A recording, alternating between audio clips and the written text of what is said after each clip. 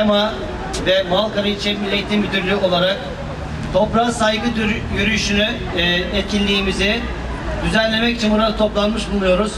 İlk olarak saygı duruşu, ardından İstiklal Marşı ile etkinliğimiz başlayacak. Devamında basın bildirimizi okuyacağız. Bizim için çok değerli olan toprağımız için saygı duruşuna ardından İstiklal Marşı'na davet ediyorum.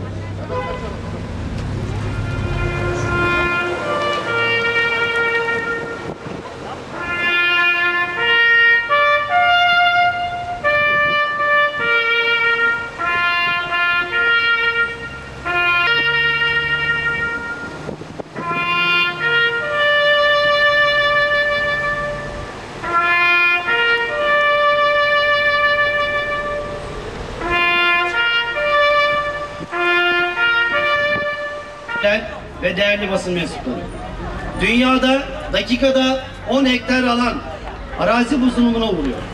Tema Vakfı her yıl düzenlediği erozyonla mücadele haftası etkinlikleri kapsamında erozyon ve toprak bozulumunun doğal varlıklar üzerindeki olumsuz etkisini hatırlattı.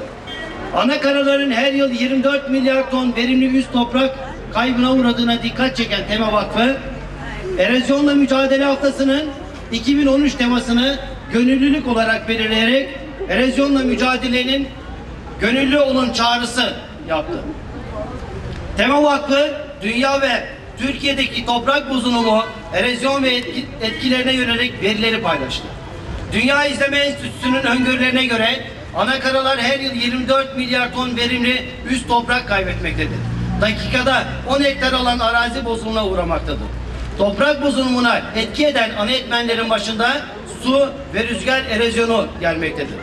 Birleşmiş Milletler Çölleşmeyle Mücadele Sözleşmesi e, verilerine göre dünya genelinde her yıl 1,5 milyar insan toprak bozulumundan etkilenmektedir.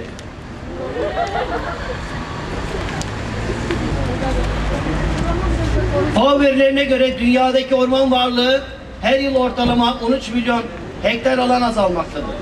Türkiye'deki verilere baktığımızda toprak kara yüzeyinin yüzde 86'sı erozyonla karşı karşıyadır. Tarım arazilerinin dörtte üçünde erozyon yaşanmaktadır. Son 20 yılda esasen yeterli olmayan tarım arazisi miktarı 4 milyon hektar yani toplam buğday ekim alanının yarısı kadar azalmıştır. Yalnızca 2010 2011 arasında arazi miktarı 1 milyon hektar azalmıştır. Değerli Malkarılar, verimli topraklar, yaşam veren su ve temiz bir hava için gönüllü olmalıyız. Doğa koruma mücadelesinde gönüllülük odaklı bir halk hareketi olan Tema Vakfı, Erozyonla Mücadele Haftası'nın 2013 temasını gönüllülük olarak belirledi. Tema Vakfı temsilcileri ve gönüllü sorunları düzenleyecekleri toprağa saygı yürüyüşlerinde Tema gönüllüsü olun çağrısında bulunacaktır.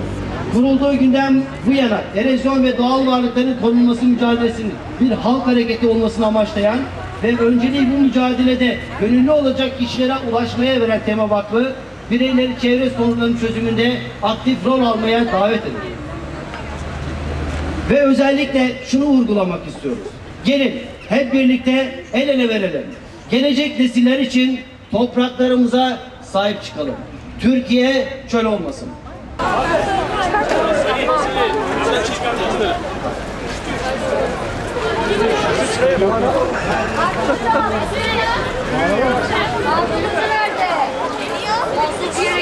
Hocam önden bize önderlik hızlı olun